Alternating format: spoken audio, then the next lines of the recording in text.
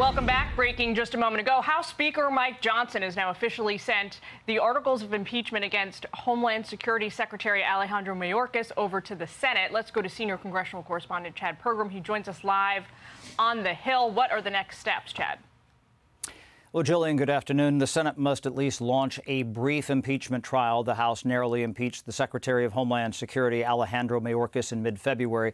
So here's what's going to happen on Wednesday, April 10th. They are going to bring over the articles of impeachment and the House impeachment managers. They, these are the House members who serve as prosecutors uh, to the case.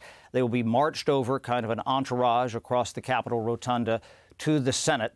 And uh, the Senate Sergeant at Arms Karen Gibson, she will announce the following. She will say, All persons are commanded to keep silence on pain of imprisonment. Now, we just got a comment from the office of the Senate Majority Leader Chuck Schumer.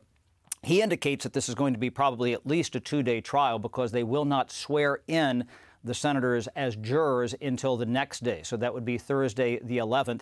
And at that point, they can then move to dismiss. And keep in mind that Mayorkas is the first cabinet secretary impeached since the 1870s. Jillian?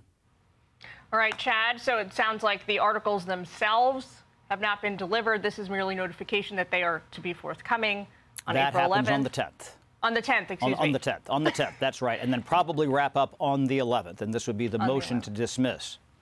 All right, Chad Pergram on Capitol Hill. Thanks so much. I'm Steve Doocy. I'm Brian Kilmeade. And I'm Ainsley Earhardt. And click here to subscribe to the Fox News YouTube page to catch our hottest interviews and most compelling analysis.